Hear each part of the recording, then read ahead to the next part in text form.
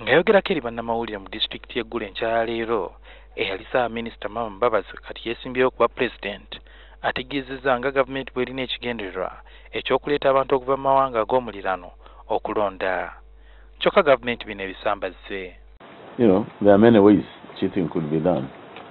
We have people who come from Tanzania and they vote. We have people who come from Rwanda and vote. I know that. So we need to exercise maximum vigilance at the polling station. ekyo gavumenti tesobola kukola ekintu kubanga ne bweyandiyagadde ekikole terina bwekikola Ba- electoral commission yiino kati egaba buno obupapula bulonerwako bwogera nabwo. Kakolaga polling station yo okay?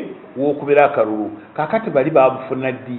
Ekyokubiri o- o- o- information eva ku identity card. Abatanzania n'abanyarwanda twabawandiisa ddi? Mbabazi era akubiriza abantu okugenda okulonda nga tebalina kutya kwonna yadde nga wagenda kubeerawo okutiisibwatiisibwa kyokka amyuka omwogezi wa gavumenti kano shaban bantalisa ategeezezza nga mbabazi bw'atidde akalulu Don't be intimidated. Simply ignore those propagandists. They don't mean it. They simply hope that they will frighten a few people, keep out of the, keep away from vote. obwo obwe- obweraliikirivu bwebaleetera okwogera ebintu ng'ebyo ebyokusasamaza abantu naye nga baagala batebe okubulira abantu singa mulaba tetuyiseemu anti twabagamba amama mbabazi ayagala gavumenti ennyonnyole ku kyayisa okuwa abantu ba bulijjo nga muno mwe muli ne ba crime preventer ebyokulwanyisa I think Mr. Karekehura, obviously, we have to answer that. Um, and uh, whoever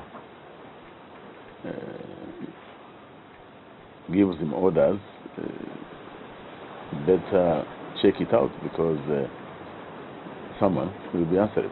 so ebyo byaga nti twabadde civilian muno anokoleyo nti waliwo aba civilian mm, ab'omu kitundu gundi nanamanya gaabwe gundi ne gundi babawadde mundu beetegese okukola fujjo ye fujjo bagikola kwani amama mbabazi olwaleero akalulu akanoonyereza mu bitundu omuli ajumani ne moyo suhail mugabi ntv akawungezi